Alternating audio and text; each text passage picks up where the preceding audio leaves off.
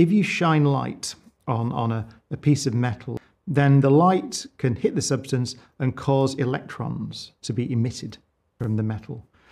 But what was observed was that if the light is too long a wavelength or too, too low a frequency, then no matter how bright the light, no electrons are emitted.